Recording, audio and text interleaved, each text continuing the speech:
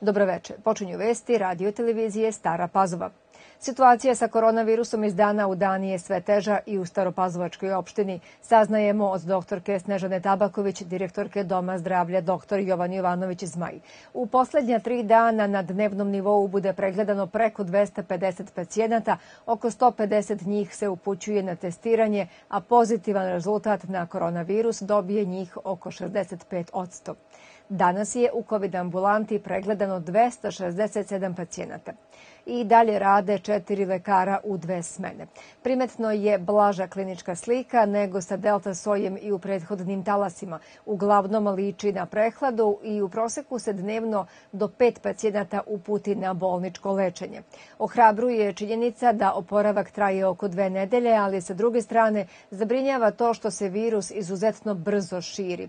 Kako bi se izbeglo unošenje virusa u prostorije Doma zdravlja u takozvanu zelenu zonu, svaki pacijent sa bilo kakvim simptomima koji posjećaju na koronavirus najpre se šalje u COVID ambulantu na testiranje.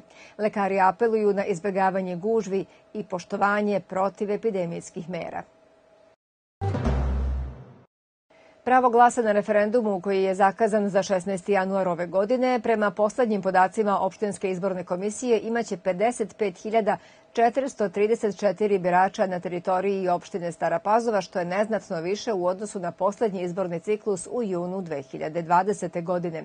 Građani sa pravom glasa izjašnjavaće se na 53 biračka mesta, kao i na prethodnim izborima. Jedina izmena se odnosi na Belegiš, gde će se biračko mesto broj 1 umesto u Lovačkom domu nalaziti u novoj zgradi osnovne škole.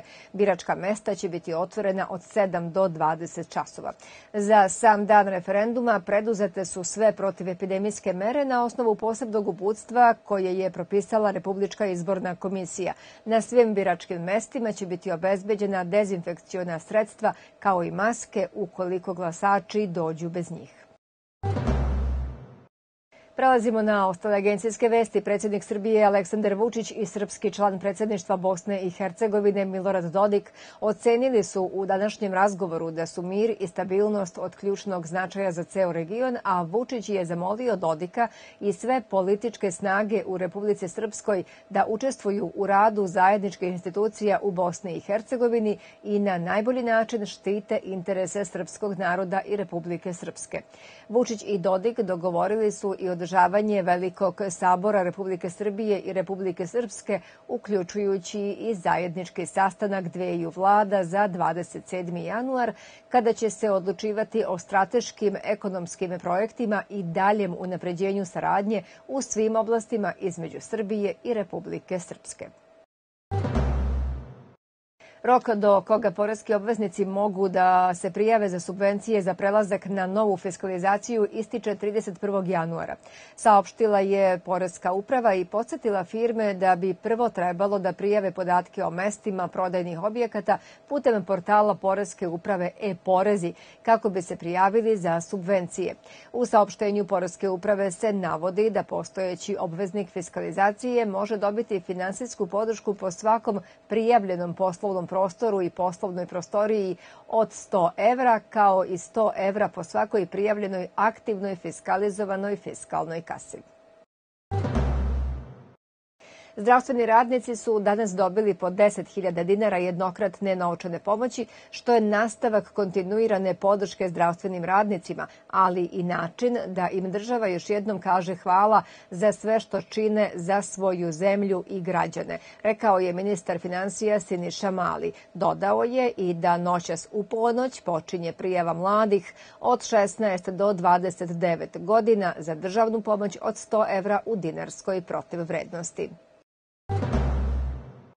Za zaslužnog građanina Vojke 2021. godine proglašena je novinarka Anđelka Mali, najuspešniji poljoprivrednik je Petar Jovanović, a najbolji privrednik Slobodan Trivunović.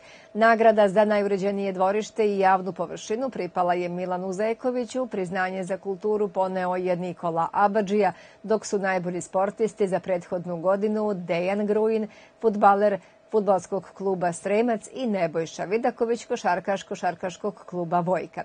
To su nagrade koje tradicionalno već 16. put na svečanosti povodom proslave nove godine po julijanskom kalendaru dodeljuje mesna zajednica Vojka, no ovog puta su ustanovljene i dve specijalne nagrade zbog uslova u kojima živimo protekle dve godine zbog pandemije za humanost iskazanu u protekle godine radeći u COVID ambulanti i na vakcinalnom punktu priznanja su dobile dve medicinske sestre, Sena Kačar i Ljiljana Abadžija. Nagrade je dobetnicima sinoć uručila Jelena Inđić, predsednica Saveta mesne zajednice Vojka.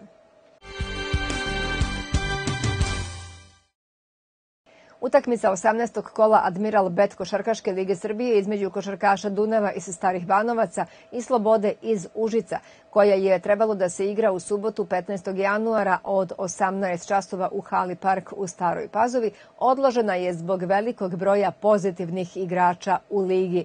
Iz istog razloga odložena je i utakmica koja je trebalo da bude odigrana sledeće srede protiv ekipe iz Lazarevca.